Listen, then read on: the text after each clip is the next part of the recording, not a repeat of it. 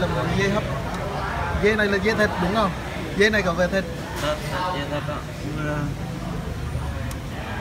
Dễ xịn dễ xịn dê hấp món 15 uh, ngô miền là đúng nhau anh đi là là Hồi thiệt, nãy- thiệt là dễ đó. Ờ, hồi nãy có nghĩ là bò nhưng mà bây giờ chắc chắn là dê rồi. Thiệt là dễ dê thiệt rồi. Chỉnh dê chỉnh dê. Dê ờ.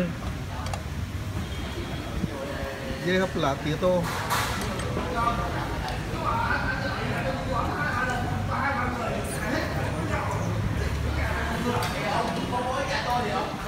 càng về chiều thì quán càng đông. Nhất là lúc Sài Gòn trời mưa này nữa trong mặt tôi em còn cái này hay nè.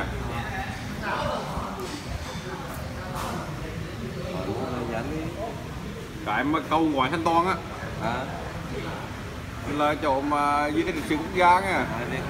Nhưng mà người ta còn nằm ngồi đây cả ngày ai khách du lịch đâu về tay đâu về hàng chụp hình cũng được vì toàn người ta nằm ngồi đây. Thằng ngon ngồi cả ngày đi ra hoàng nó rồi khách du lịch nó tay tiệt thôi nó về chụp hình được. Năm ngồi ngột ngang à nó phải nói với cả các quản lý nó phải vì cái chỗ này di tích lịch sử quốc gia mà. Thì người ta muốn chụp hình á muốn chụp hình là phải là, là cái câu trong đẹp.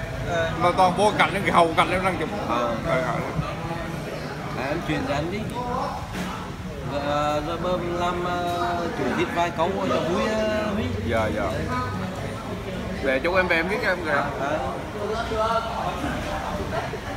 nó chụp nhiều lắm này người ta toàn ngồi đứng ngồi ngang tay là nó vô nó không chụp hình được. Là má cái bà này bà nằm ngủ mẹ luôn này. Mà bây giờ cái đít giờ cái đăng này. Mắt bà về. Bà nằm ngủ mẹ nó cái cầu cái gì